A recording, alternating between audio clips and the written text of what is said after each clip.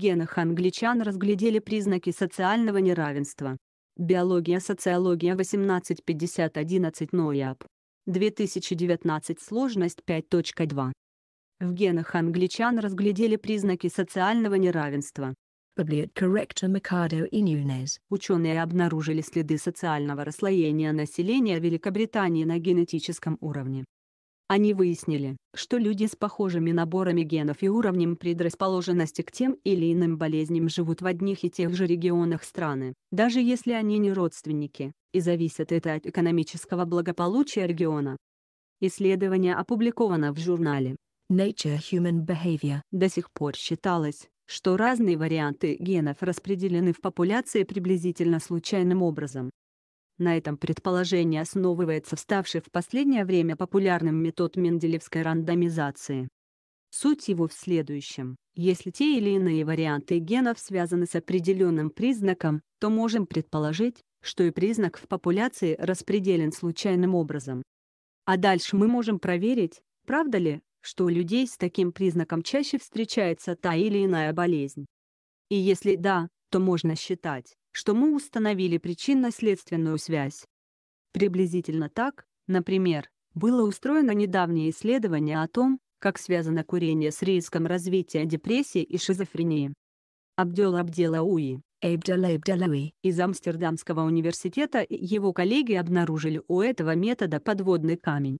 Они показали, что генетические варианты могут быть распределены в популяции далеко не случайным образом. На это могли повлиять, например, пути миграции людей тех или иных социальных групп между странами или даже в пределах одной страны. Ученые воспользовались данными британской базы генетических данных UK Biobank. Люди распределены на пять групп принципиальных компонент. PC в зависимости от комбинации полигенных показателей риска по разным признакам. В разных регионах Великобритании они встречаются с разной частотой. Abdullahi et al. Nature Human Behavior 2019 поделиться. Особенно сильно эта зависимость проявилась для уровня образования.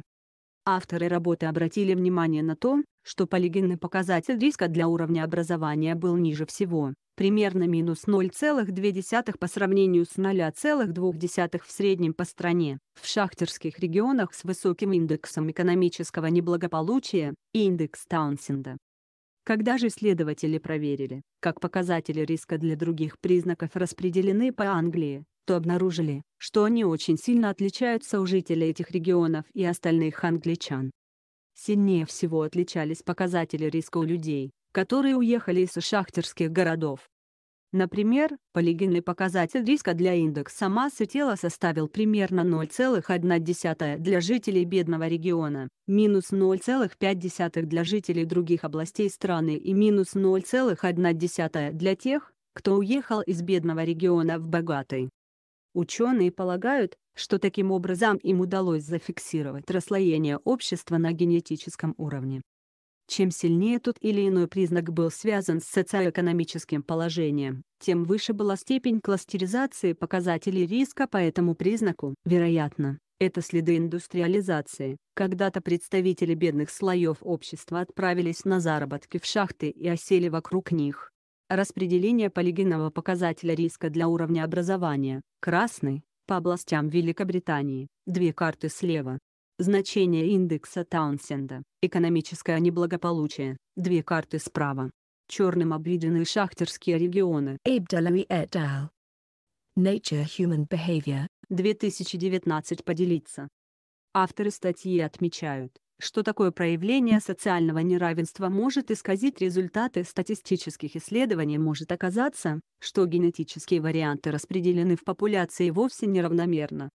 При этом неравенство по одному признаку искажает данные и по другим.